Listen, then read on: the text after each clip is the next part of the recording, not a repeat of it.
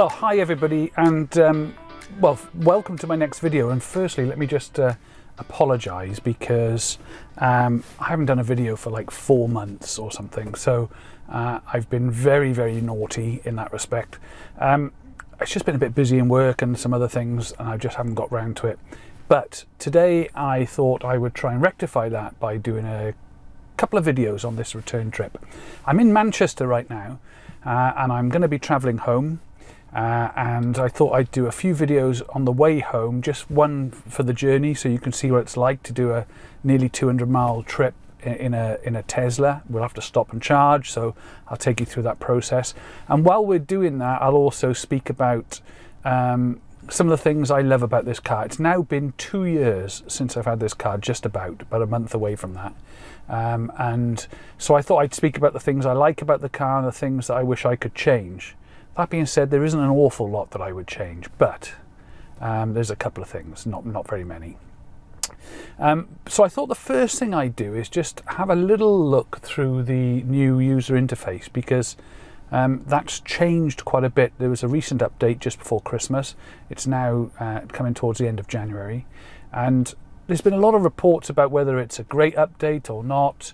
Uh, I really like it. I've got to say, all right, there's some things now you've got to press two buttons for instead of one. But equally, there are some things now that you can access with one button instead of two button pushes. So, and it's a first world issue. Let's face it. You know, do you press the screen once or twice? Um, I like it. It's a bit more colourful. I, like, I much prefer the font.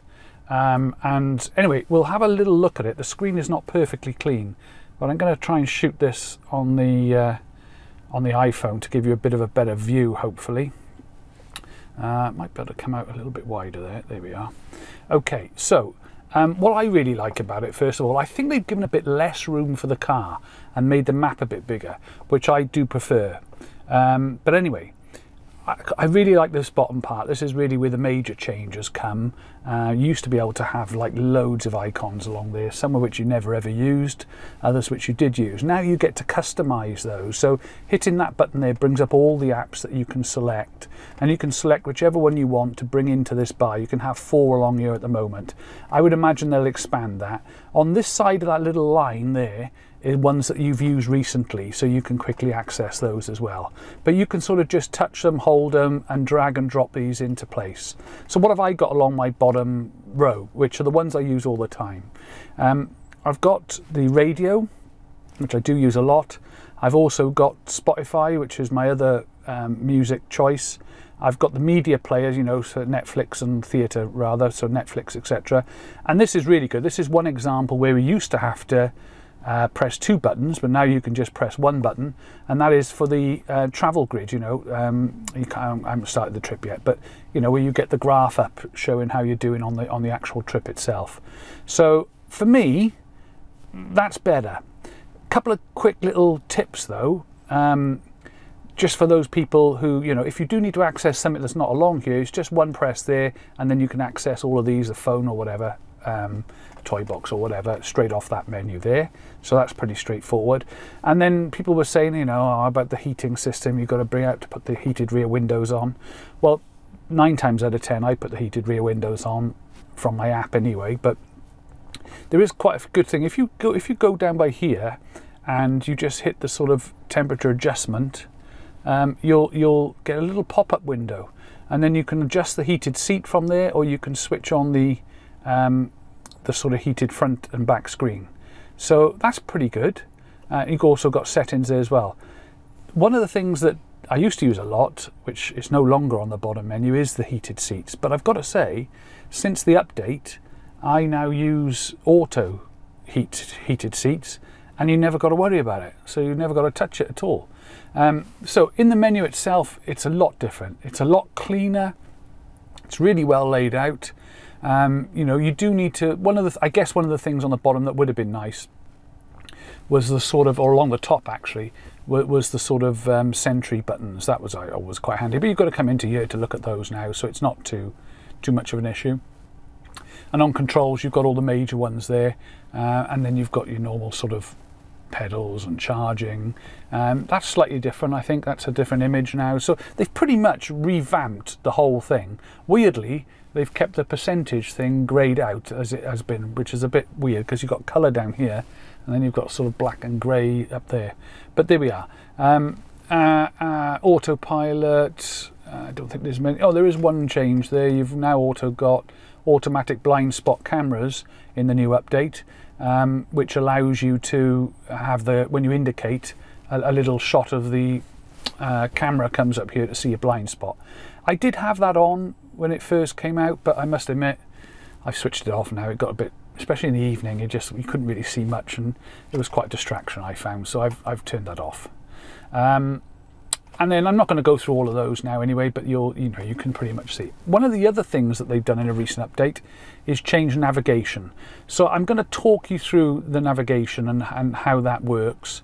Um, so I'm actually going home now. So um, a very quick tip is just simply to swipe to the right wherever you are and that will just put in your right home as a destination.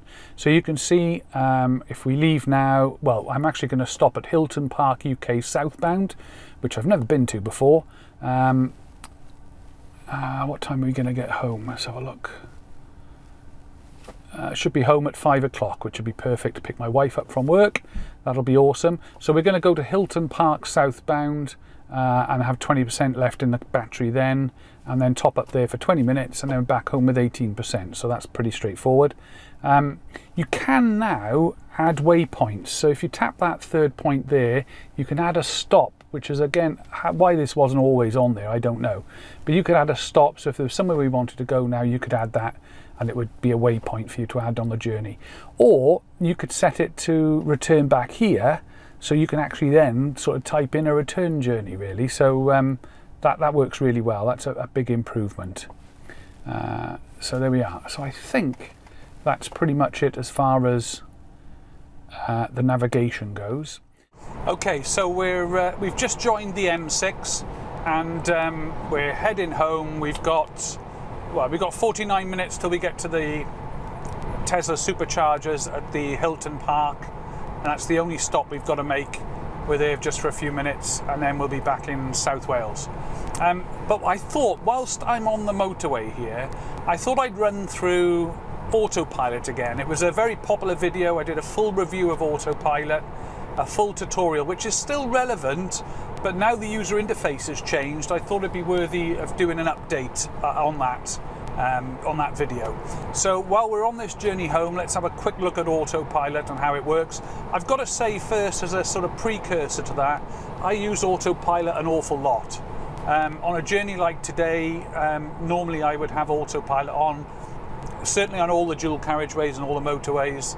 Um, and pretty much on motorways, I would say 95% of the time the car is on autopilot. Um, on the screen, I'll put a blue border on the screen when autopilot is activated so you can see clearly uh, when we've got it engaged and when we haven't. But just a little look at the screen will show you that um, the interface has changed slightly, but really from a font point of view, nothing more than that. Um, so you've got the sort of speed limit there in the in the red circled one, um, and then the maximum. Automatically, the car will set the maximum speed uh, to the speed limit. Um, and then on the other side you've got my current speed and I'm driving manually at the moment. So to engage autopilot it's just two little taps on the right hand stalk um, and they don't have to be full taps all the way down. They can be just intermittent taps, like the same as you do on this side when you just want three indicator flashes. So two little taps down, and then the car is now taken over completely. Um, you can see that's the case because the little uh, autopilot symbol steering wheel is in blue and also um, we've got these two blue lines as well and the car will now hold me in this position in between these lines it'll look at the speed um, and uh, it'll basically take care of everything really you do have to touch the wheel every 45 seconds or so just to let the car know that you're there or by simply resting your hand on the on the wheel like this um, that's enough to indicate to the car that you're in control um, and it's still very relaxing because you're not actually doing the steering. You're just your hand is is moving with the wheel, obviously, but it's the car that's actually doing the steering itself. But very often I take my hands off, uh, always close to the wheel though, and always keeping an eye on the road. This car's pulling out now, so the car will automatically spot that. And you can see on the screen the car in front is a darker grey than other cars, and that's because the autopilot system is tracking that car, uh, keeping a closer eye on it. Um, obviously, as uh, as as other cars come close, there's one coming to me now on the right. You'll see that change colour to a darker area as it starts to to track that. There we go, and uh, so it's now tracking that car as well. Um, so yeah, so as I say, it does make what what is the benefit of autopilot? Well, today is a good example. I've driven from Abergavenny up to Manchester and I'm on the way back now. So when I get home this evening at five, I'll have been driving since well, virtually since half past eight. So I've had a long day behind the wheel. But I, I, you don't feel tired because a lot of the stress and strain of motorway driving, particularly, is taken care of by the car. You don't tend to feel as fatigued driving. Um, and also, the one other beauty about electric cars, and I'll come on to um, you know what I love about this car after having two years ownership. Here's a great example. The traffic in front now is slowing down. You know, normally that sort of stop-go traffic is quite difficult to deal with, but because the car is keeping an eye out all the time, you do sort of, you know, you're always obviously attentive, and I was ready to take over if I needed to, but I've never known the car falter on the sort of slowing down with traffic ahead. And on autopilot, you can actually set the distance. With the right hand mouse wheel, you can move it right and left to decide how many car lengths from the car in front you want to be. So if I move it, you'll see that at the moment that was moved it to five. I've normally got it on four, which I find is uh, is plenty. And so now the car will keep four car lengths it's not actually physically four car lengths, it actually depends on how fast you're going, but it'll keep that as the distance between me and the car in front. And as the car in front moves off, my car accelerates. And again, I've not touched anything since we put autopilot on. So I think the benefits of autopilot are quite clear. If you've got a Tesla and you don't use autopilot, Hopefully you'll find this little section of this video useful. I'd also recommend that you look at my full review for Autopilot. and the card for that is above. Um, you know, because I know there will be people out there with Teslas who perhaps are a bit worried about Autopilot, a bit scared about it. Um, and you do initially, you know, it takes a bit of getting used to. But once you are used to it, it really does make a huge difference uh, as far as, um, it really does make a huge difference as far as the pleasure that you get from driving the car. So this car's pulling in front of me now. The car will automatically adjust, drops the speed a little bit, and it'll let the car get to the distance that I've set, um, and then carry on. So very intuitive, very clever the way it all works. You know, you now and again you get little hiccups. Now and again you get a thing called phantom braking. Um, I've not had it for a while, um, and usually if you do get it, it can be sometimes when you go under flyovers, sometimes when you're going past big articulated lorries. Um, for some reason, the autopilot thinks the lorry's moving into your lane a little bit, and it will react to that and slow you down quite quite aggressively on occasion. Um, but it used to be with the earlier softwares that it was just randomly you'd be on an empty dual carriageway and all of a sudden the car would slam its brakes on. Um, I certainly haven't experienced that for an awful long time and I do use autopilot on motorways an awful lot. Uh, as you can see, we've been on this now. I don't know how long the video has been. This section is probably 10 minutes long, and I've not come off autopilot at all. So, okay, I wanted to touch on a few of the things that I like about this Tesla. I've, I've had this car now, bought it new, um, and bought it in 2020 March. So it's coming up to two years. Uh, I'd never had a new car before. I'd never had an electric car before. So it's been quite an eye opener for me. And now, after two years of ownership, I can honestly say, hand on heart, it's the best car that I've ever owned by a long way. Um, I can't ever see myself moving away from electric cars. Um, I'm not 100% sold on Teslas. you know, I often see other cars, other electric cars, and lots of manufacturers now bring them out. But I often see, you know, like the ID3. I really like the look of that. There was one at the services just a little while ago, so I do like the look of that. Um, that being said, there's an awful lot about Tesla that I love, and an awful lot about this car that I love. Firstly, the driving experience, and there's quite a few elements to that. Um, but the driving experience of this car is phenomenal. Um, you know, I've driven to Manchester and back in a day today to pick up some equipment. I could have got it couriered down. Uh, uh, I wouldn't want to because it's quite delicate equipment, but um, you know, given the opportunity to jump in the car and drive all day, um, I tend to like to take those opportunities. I do really enjoy driving this car, um, and I've never had a car where I felt like that before. I've never had a car where I can, you know, come up with excuses to get in it and drive it. So, and the driving experience is the reason for that. First of all, there's one pedal driving, and for those of you who've not driven an electric car, I would recommend test driving. Test drive a Tesla, um, and or any other electric car actually. And most of them have regenerative braking, and that means that you you drive really with just one pedal.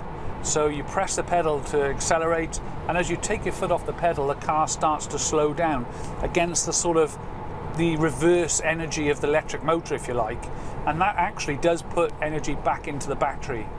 Um, and you get used to it very quickly, and you wonder why all cars. I mean, I've driven this now for nearly two years, and the other week I took my wife's car out, uh, and it honestly it felt like going back in time. It felt like it felt antiquated. It felt clunky. It felt old in comparison to to this, where driving is an absolute pleasure. So normally I'm obviously on autopilot now, but normally one pedal driving, uh, it takes about five minutes to get used to, and then once you've done it, you just never want to go back to anything else. The other thing I love about the car is the acceleration. The 0 to 60 in this car is 5.4, which is the slowest one of the three Model 3s. Uh, the dual motor, I think, is 4.3, and then the uh, performance model is either 3.2 or 2.9. 3.2. Uh, it is quick. Even this one is quick. Um, you put your foot down, you've got instant torque, but the speed isn't just, the acceleration and the thrill of that isn't just from a standing start to 60, which, which is very quick. It's also now, you know, even if I came off autopilot now and um, wanted to accelerate up to 90 or whatever to overtake something, then the acceleration in this is still quick, even at that end. Certainly the sort of 30 to 50 is, is really fast. And the pickup, because it's instant torque, is incredible. So that's got to be part of the driving experience. Also, um, the UI and the ability to have new features um, is, is a really nice thing to have in a car. Um, the software probably gets updated on average, I'd probably say every six weeks, but sometimes much more than that if there's bug fixes. But it's a very easy thing to do. You get notified on the app that the software update's required, and you hit update, and the car just does it. So it's very, very easy to do. Um, I like the style of the car as well. I like the look of it. I'm not overly sold on the look directly to the front of the car, um, but certainly from the side angle and the back wings, I love the look of those. I think it's a it's a very distinctive shape. It does turn a lot of heads, that's for sure. Um, particularly children. Children love these cars. It must be like TR7 was to me when I was a kid. You know, the car you always wanted to look at. And so whenever you're driving, kids love to point at it and I've even had one kid once um, went past on his bike, came back, and the the Sentry mode recorded him, and he had to touch the car, so he gently just touched the back wing, and was uh, was thrilled to have touched a Tesla. So there is definitely that element to it as well. Um, I also really do enjoy the fact that it's a lot cheaper to run, significantly cheaper to run my wife's Mini, I realised the other day, she's paying £30 a month um, tax on that car. Well, I don't even spend £30 a month in running costs for this car. Um, there's no tax to pay. Obviously, there's allowances to buy EVs still, not as generous as they were when I bought this, but they are still available. Um, no servicing. You know, I've changed the wipers on here. That's the only thing I've done. And I'm due for new tyres uh, fairly soon. But other than that, I've had to spend out no money whatsoever on this car. Um, so there's a huge saving there. I don't know how much it is, but it's a huge saving. My fuel consumption, I haven't got the exact figures or anything, but I know I used to spend 100, 115 pounds a month on my diesel Audi, and I'm I'd be surprised if I now spend um, 15 pounds a month. Uh, I charge up at home, and because I'm on the uh, Octopus tariff, I get my electricity even now with the hike in prices because I've just renewed the contract. Between half past midnight and half past four, I'm paying five pence a kilowatt. So I think last night I went from 30% to 100% because of this journey. I think it was just shy of two pound or something. I mean, it's, it's ridiculously low. Uh, I'm also very lucky, thanks to you, my uh, loyal viewers, um, that I uh, I don't pay for supercharger miles. I've had um, I think 11 in total. Very kind subscribers who've used my code to buy their Teslas, and I I have received a thousand free supercharger miles uh, because of that. So uh, certainly up until the end of next year, I'm not going to be paying for any supercharger uh, miles. Uh, so a journey like today has cost me hardly anything to go to Manchester and back apart from wear and tear on the car. As far as things I change, after all, there's, there's no such thing as a perfect car. Um, I, I do struggle though to find things that I would change. I would probably say, and you'd probably be able to hear it, the road noise in this car is quite high. Um, that might be because you've got no engine trying to block it out, but I think also you know there's a lot of glass, um, and you know I think Tesla have refined it, refined it a little bit. Apparently, some of the newer models are triple glazed, and um, you know haven't got as much tire noise in the cabin. In this car, it, it is quite loud. So I would probably, you know, if I could have some changes made, it would be improvements still further on that would be good. And also, I'm, I'm six foot three, and so I'm a big chap. And getting in and out these doors, um, I usually sort of rub my head on here as I'm getting in and out. So it's a little bit uncomfortable to sort of bend in to get in here. But that's because I'm six foot three. Uh, the Model Y, which I've not test driven yet, is I know would resolve that issue. It's a much higher seating position, and the vehicle's much higher as well. So I'm sure when I try one of those, um, it'll be a nice, uh, it'll be a nice in and out uh, sort of. Uh, it'll be a, a big improvement on that that particular issue. And I've got to say, other than that, I struggle to find anything wrong with this car. Uh, I know there's things about paint, and yeah, all right, the paint's not perfect, but I don't think any car's got perfect paint anyway. Um, and so I've never really had, you know, there was a couple of little things I took it back for just after I had it, but I just made a list, dropped it back into Tesla, and they sorted it out. In fact, some of the things, there was a headlight issue, they came out and replaced it. So I've never had an issue with servicing. Um, I've just found out I'm going to get a recall for the cable that's going to the back camera but I know they'll sort that out very smoothly and it, it won't be any hassle at all.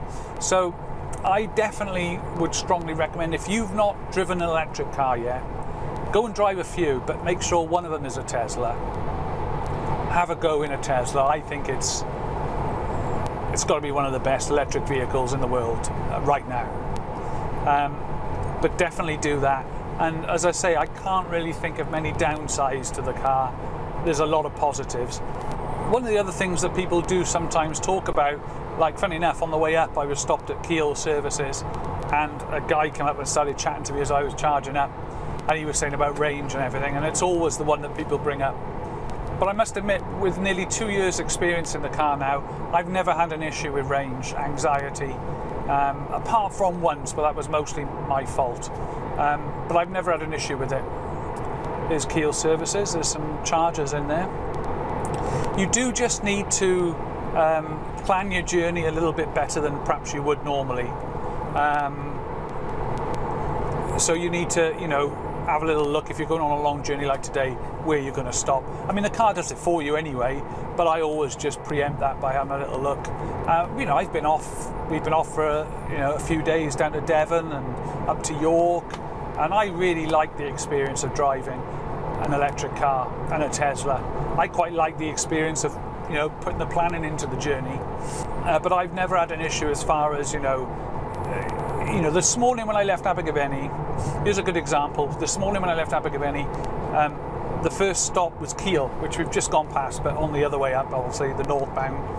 Um, and that was two hours and 30 minutes from my house. So, you know, I need a break after two hours and 30 minutes of driving. Everybody does, in my view. And so, one of the things that EV driving does, it does sort of force you into that discipline of taking breaks, and that's really important. Um, uh, my bladder range is definitely less than the battery range of this car. So here we are on the M6. We're going to pull over in a moment and charge up. And I've been on autopilot for the entire trip, bar a few a few occasions, maybe we've been changing motorways or something. Other than that, the car has done all of the driving. So in a mile, we're getting off and we're going to go to the supercharger. I've not been to this one actually. It's the supercharger at Hilton Park, uh, southbound, uh, heading towards Birmingham uh, from up north. And so um, I'm going to show you the supercharging system, how it works, how easy in a Tesla it is to charge a car. Um, and also give you a, a tip on which charging station to pick. So let's do that.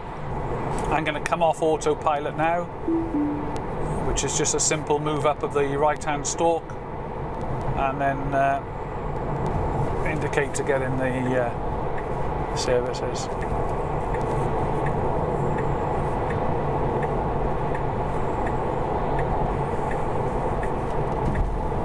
Oh, interestingly, on the sat nav, you can see, I don't know whether you can see it, there's 11 available stalls. It shows you there how many stalls are available and gives you a sort of direction right the way to it. In 500 feet, your destination will be on the left. It looks like they're just around here somewhere. Oh, there they are, I can see them.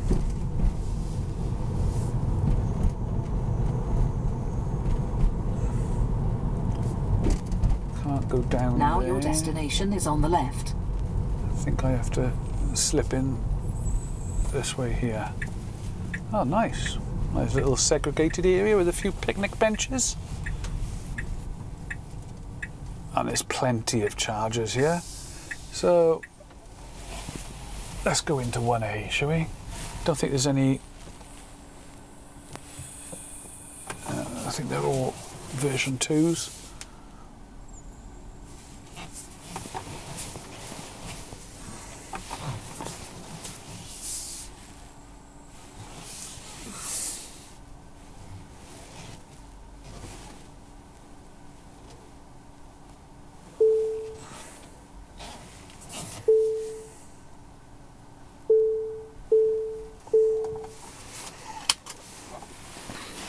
So okay, here we are at the supercharger station. And the first thing to notice, well, firstly, there's only myself and one other Tesla here. And there's probably, crikey, there's probably 15 or 20 chargers. One of the things to look out for though is that you'll see there's numbers at the bottom of each of the charge stations. Uh, and there's always a sort of number 1A, 1B, 2A, 2B, 3A, 3B. And the idea behind that is that uh, each pair of chargers shares the same power connection. So as you approach the charge stations, if you can avoid parking next to somebody else, that's the proper etiquette to do. Um, because it means that you're not going to reduce the charging speed that they're currently having by pinching half of the charge from them. So, you know, if there is a space, make sure that you get into one of the two available for that number. So, you know, if you were going into three, if 3A and 3B are free, jump into one of those. Um, but, you know, if somebody's on 4A, uh, 4A, don't jump into 4B unless it's the only space that's left. Uh, particularly here, there's just me and one other. So they're right the way down here, I'm right the way down here, and we'll have a look at uh, how easy it is to, um, to charge the car. I'm just going to use the iPhone to record this bit. Okay, so let's uh, let's just show you how easy it is to charge a Tesla. Once you've got your microphone sorted out, that is. Leave it in the bloody car. Hold on, hold on. Okay. So let's just show you how easy it is to charge a Tesla. You'll see there's two actual uh, handles there, if you like, wands. Uh, the one for the Model 3 is this top one here, it's indicated by that symbol there. And you just simply take that out. And then on this wand itself, you'll see there's a button. A lot of people don't know this, but you don't have to open the flap from inside the car. You just simply press this button and the flap opens. Pop it in, and then you'll see the indicator will go dark blue, saying it's communicating with the car and then in a second it'll go green hopefully.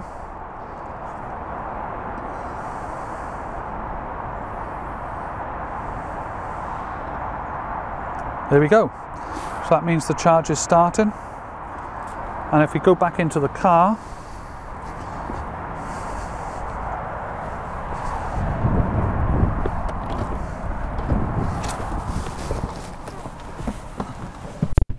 So we'll get back into the car and on the new interface now um, you'll see that all the information about charging is across the top there. Um, it does show you on this side that uh, actually I can reduce that. Let me just uh, get that down to 90%. You can see already that's gone to 22%. It was 20 when we started, literally a few seconds ago. And you can see here that the car is charging at 144 kilowatts. It's already added a kilowatt in a couple of seconds, um, and it's doing 660 miles an hour. So it's going to be 20 minutes to charge up to be able to continue the trip, basically. Uh, so it's a quick stop. I'm going to jump in and just use the loo. I'm going to turn the cameras off as well now, but that's how easy it is to charge the Tesla. Now, I'm very lucky that I get the supercharger miles for free because of my very kind subscribers to my channel who used my code. It's no longer available anymore. Boo hoo, Elon. Um, but yeah, so I'm lucky I don't pay for these. But even if you were, it's I think 24 pence a kilowatt or something like that. So it's not a huge amount. It's still about a third, I think, of the cost of fuel, normal petrol or diesel. Um, but for me, you know, it's I don't have to pay for it. But even if it was paying for it, it's so easy. You set up your account on Tesla, and you don't even have to worry about, you know, it just you plug a car in, it knows what car it is, and it just charges it to your account. It couldn't could not be simpler um, at all. So there we are. So hopefully that's given you a bit of insight how to charge your Tesla. It's a very very easy process. Um, and obviously there are third-party chargers now, and the process is getting better on those as well but I'd say Tesla is still a little bit ahead of the rest of the competition as far as ease of use. So there we are. I hope you've enjoyed the video. Uh, as I say, please do like and subscribe. It'd be great to get the viewing figures over a thousand. That would be a great target to hit a thousand subscribers. So I'd be, I would be chuffed to beams. So the more you can share my videos, the quicker we'll get there, and that'll be awesome. Um, thank you very much indeed. And as always, I will shall catch you next time.